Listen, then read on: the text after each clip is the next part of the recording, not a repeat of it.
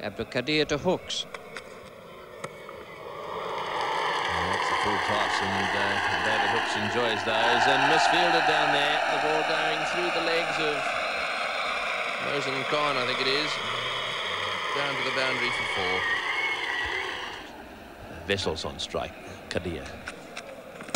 Down the wicket, and it's oh, go! What a catch! That's a magnificent catch by Imran Khan. That ball was hit very firmly.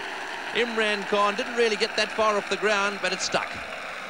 That was great judgment by the Pakistan captain at mid-off, and that was hit with great power by Kepler Wessels. He was looking to hit the ball over the infield, and Imran getting up off the ground. It would have been difficult to judge because he is looking into the vast outer crowd, and it's not easy to pick them up down there. And that's the end of a very good innings by Kepler Wessels, but that's the breakthrough that Pakistan wanted in the 36th over. Australia now 4 for 138. Pakistanis uh, have decided that Abdul Qadir is going to bowl the last ones and last overs. Inside edge and the ball bobbing down by the stumps there. No, he's gone. It's gone. It's dislodged the leg stump bail. A drive attempted there by Smith and the ball bobbing back onto the stumps. And so he's out bowled by Qadir. And I think that was the wrong'un Tony, that Smith didn't pick. He was a little unlucky. He drove the ball onto his foot and it rebounded back onto the stumps, and that's an ounce of luck for Pakistan and for Abdul Qadir. So certainly paying dividends, bringing Qadir on at this stage of the game, and Smith out without scoring. And suddenly a slump by Australia. Hookes has been there for quite a while now. It's really up to him to force the pace. He really has to push this scoring rate along.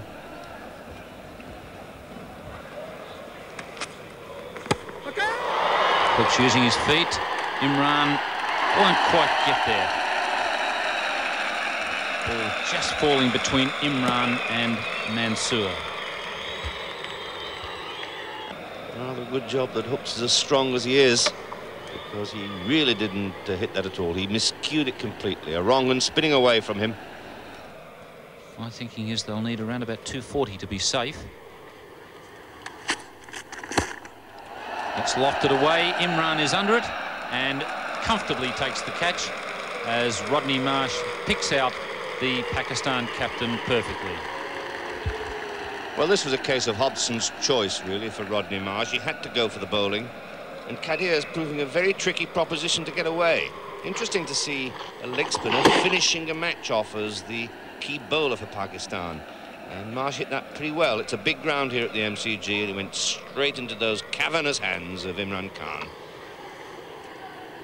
and a comfortable, sure, safe catch it was. So Marsh is out, and the total six for 172.